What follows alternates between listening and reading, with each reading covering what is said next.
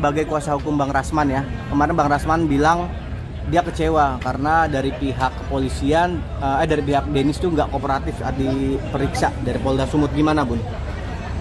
Kalau masalah Denis kan kita semua sama tahu Eh, Bang Rasman ini sudah berbagai upaya melakukan eh, untuk mencari keadilan atas penghinaan kepada dia, ya kan? Nah hari ini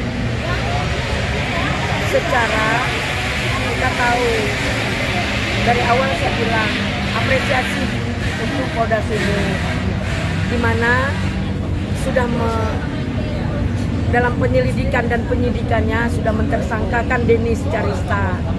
Namun eh, belum diproses. Hari ini kita kan minta diproses. Nah, kemarin Polda Sumut sudah datang dan sudah mengambil akunnya yang sejuta sekian itu sudah disita. Nah, untuk itu tinggal menunggu proses eh, dalam eh, kelanjutan P21 yang kita harapkan.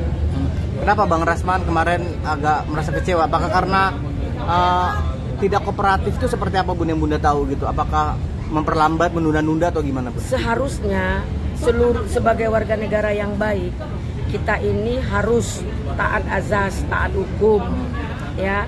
Kan ada panggilan, jadi harusnya dia menghadiri panggilan itu dan bisa saja karena dia kooperatif dia tidak perlu ditahan sampai persidangan selesai.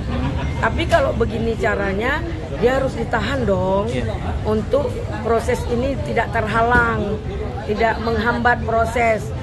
Jangan memperlambat eh, proses kan semua ada tahapan-tahapan proses yang harus eh, dijalankan oleh eh, pihak-pihak yang yang dianggap sudah merugikan orang lain baik secara moral maupun material. Bun mungkin nggak faktor seorang Denis yang memiliki anak, jadi ada se- kasihan lah dari pihak perusahaan. Saya secara pri, kalau secara pribadi kita kasihan ya secara perempuan ya. Namun ini secara hukum ada yang melahirkan di dalam loh. Ada juga anak yang menyusui di dalam.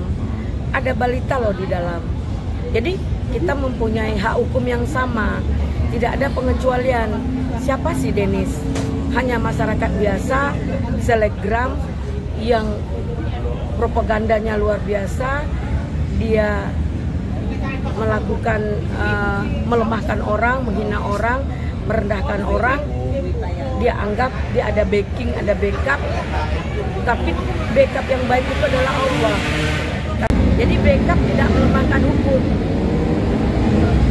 Bun, eh, istri Bang Rasman bilang itu sudah zolim. Gimana pendapat bunda? Zolim kepada istrinya dan juga Bang Rasman sendiri. Iya, kan jelas. Itu jelas sekali dia zolim. Hmm. Sehingga merugikan Bang Rasman. Tadinya klien Bang Rasman ada karena Bang Rasman sibuk mengurus perkara pribadinya yang terusik. Akhirnya kuasa eh, apa eh, ini eh, apa namanya orang yang memberi kuasa ke Bang Rasman itu tentu mengundurkan diri atau ada yang ragu sehingga merugikan Bang Rasman secara moral dan material. Bun, gimana Bun? Artinya eh, ada eh, memang Bang Rasman benar-benar sudah menutup pintu damai Bun. Ya. Bener. Apa memang benar-benar sakit hati atau gimana sih? Oh iya, terhina dong. Nah, jangan sepele ini harus, harus ada efek jerah ya. Yang terjadi harus ada efek jerah. Kalau masalah hak- be- em, minta maaf siapa sih yang tidak memaafkan? Allah aja pemaaf. Tapi proses hukum tetap jalan. Itu. Berapa sih Bun ya an- ancaman hukuman yang mungkin layak didapat dari seorang Denis? Atas Eh, kalau berjalan sebagaimana mestinya di atas lima tahun. apa Bun? Pasal apa Bun? Terkait apa? Ya kan itu ada undang-undang eh, eh, ITE. Kalau nggak salah saya pasal 28 Junto 30 ya. Itu 9 tahun.